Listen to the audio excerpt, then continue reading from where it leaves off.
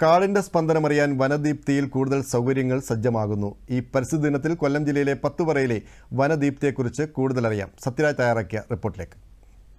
രണ്ടായിരത്തി പന്ത്രണ്ടിൽ പ്രദേശവാസികളുടെ സഹകരണത്തോടെയാണ് പിറവന്തൂർ പഞ്ചായത്തിലെ പത്തുപറയിലെ ജനവാസ കേന്ദ്രത്തോട് ചേർന്ന് വനദീപ്തി എന്ന പദ്ധതിക്ക് വനംവകുപ്പ് തുടക്കം കുറിച്ചത്.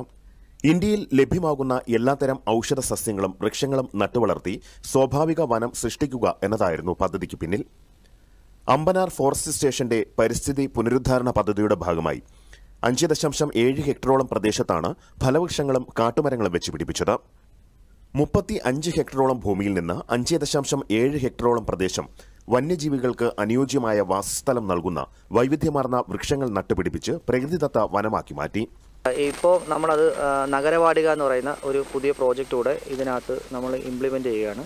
അതിന്റെ ഭാഗമായിട്ട് നമ്മളിവിടെ ഒരു പിന്നെ ആംഫി തിയേറ്റർ കഫറ്റേരിയ പിന്നെ ആൾക്കാർക്ക് ഇരിക്കുന്നതിന് വേണ്ടിയിട്ട് നമ്മൾ ഗ്രാനൈറ്റ് ബെഞ്ച് പിന്നെ ബാംബു സെറ്റം ക്യാഷ് റെയിൽ അങ്ങനെ കുറേ പ്രോജക്റ്റ് ഇതിനകത്ത് ചെയ്യുന്നുണ്ട്. പിന്നെ ബേഡ് വാച്ചിങ്ങിനുള്ള സൗകര്യം പിന്നെ ബട്ടർഫ്ലൈസിനെ പറ്റി പഠിക്കുന്നതിനും വേണ്ടിയുള്ള സൗകര്യം പിന്നെ ആൾക്കാർക്ക് ഇവിടെ എത്തുന്ന സന്ദർശകർക്ക് നടക്കാൻ വേണ്ടിയിട്ട് ഒരു പാത്ത് വേ അങ്ങനെയുള്ള സംഭവങ്ങളും പുതുതായിട്ട് ചെയ്യുന്നുണ്ട്. ഒരു ആറ് മാസത്തിനകത്ത് ഈ ഈ പ്രോജക്റ്റിന്റെ കംപ്ലീറ്റ് ആവുമെന്നാണ് നമ്മുടെ ഒരു പ്രതീക്ഷ.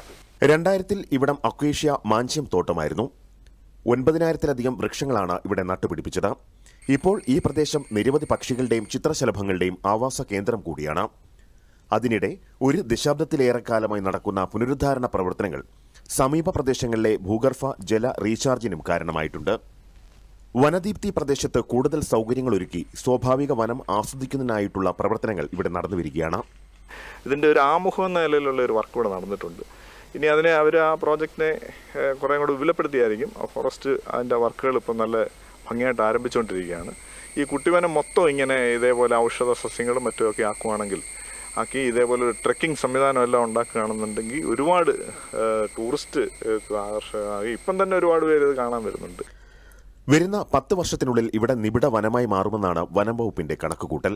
ഇവിടെ എത്തുന്നവർക്കായി പ്രത്യേക ക്ലാസുകൾ വനം വകുപ്പ് നടത്തുന്നുണ്ട്. കൂടാതെ ഇതിനുള്ളിൽ തന്നെ വകുപ്പിന്റെ വൃക്ഷത്തൈ വിതരണ കേന്ദ്രവും പ്രവർത്തിക്കുന്നു. വനശ്രീ വിപണന കേന്ദ്രവും വനവിജ്ഞാന കേന്ദ്രവും ഉടൻ തന്നെ പ്രവർത്തനം ആരംഭിക്കും. Sathyaraj D news Kollam.